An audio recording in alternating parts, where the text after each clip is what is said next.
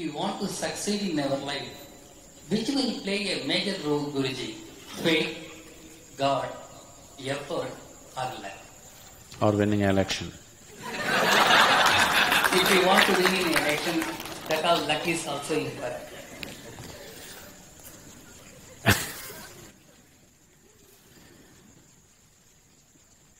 Faith, God,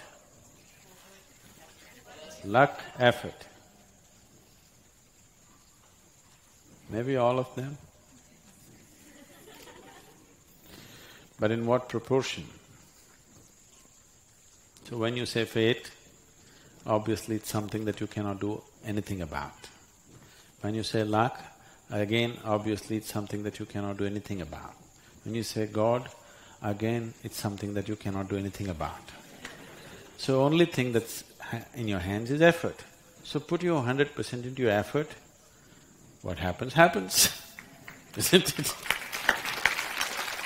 So don't leave proportions of your energy and your capability to luck, God, fate, all these things. That's not your business. If there is such a thing, it will act. Your business is only effort, isn't it? Just do that.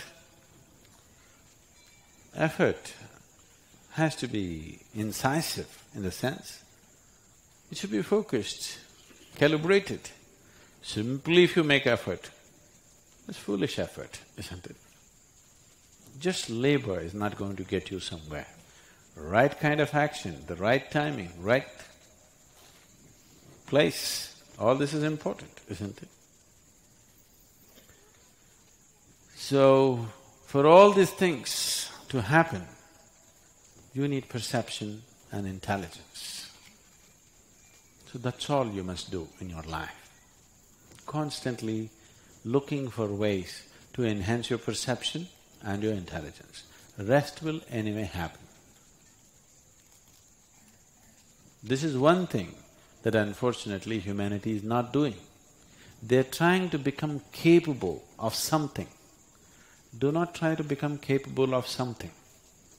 Just enhance your perception and intelligence, whatever comes your way. Right now, let us say it's like this, you know, this is happening in the world all the time. Everybody wants to become a doctor. Not now, if twenty-five years ago it was so. If you want to study means, first thing is medicine. If you don't get a seat, what's next? Engineering. Don't get a seat, what? Next thing, next thing, like this. So let's say you became a doctor and let us say everybody came to the yoga program and they stopped going to your doctor. At least your visits to the doctor has come down, isn't it? Has it? Has it come down or no? For sure, it's come down. So business will go down. It will no more be a good profession to go into because very few doctors are becoming doctors because they want to become doctors. Others are becoming doctors because they think it's lucrative. Isn't it? Isn't it so? Most people are becoming doctors because they think somebody's sickness is a lucrative business. it's a very… I don't want to go into other aspects, it's quite disturbing for me. There are a few doctors who really want to be that. They want to understand the human system and they want to serve in that direction, that's great. Suppose everybody became healthy. You don't want that, isn't it? Yes, you don't want that. So do not try to put up a recipe for your success. Success is only when you are able to use yourself to your full potential. It doesn't matter whether you become a doctor or a politician or a yogi or what the hell you become is not the thing.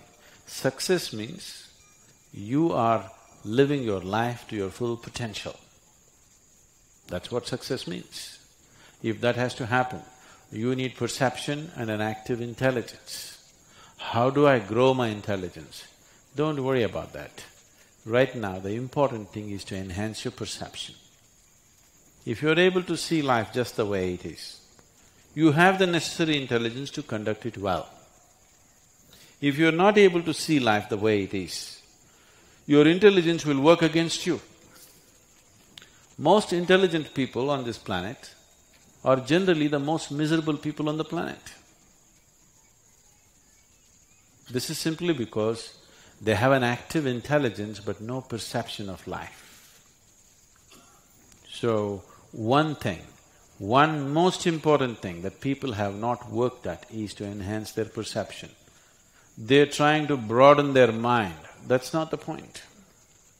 That will only make you socially successful, not truly successful. If you want to be truly successful, you must be able to see everything just the way it is, without distortions. If you can see everything just the way it is, life becomes a play. You can play it joyfully, you can play it well, for sure. If you can play it well, people will say you're successful. You should never think, I want to be successful. Don't ever think, I want to be successful. Just see how to make this being into a full-fledged being. People will say one day, oh, he's successful, he's a great success. You should not be aspiring for success, it's a miserable way to structure your life.